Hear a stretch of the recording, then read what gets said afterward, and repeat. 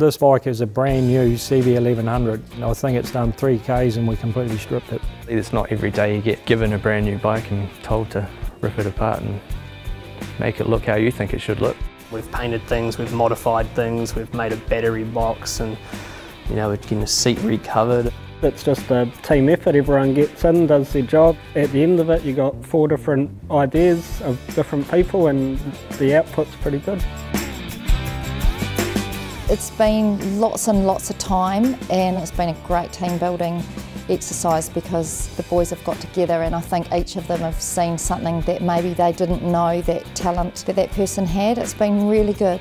I think we kind of made it a bit harder for ourselves in that we wanted to preserve the bike and be able to put it back to stock trim 100% if need be.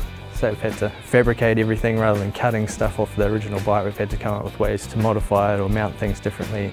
My job was to build the exhaust system, so me and Kev sort of put our two heads together. There's some fairly radical ideas at the start about how to run it, but I think what we come up with is simple, effective, it looks and sounds fantastic. Uh, I reckon it's going to be a looker.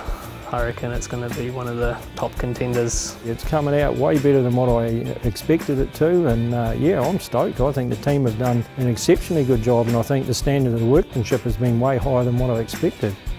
I think it's very professional.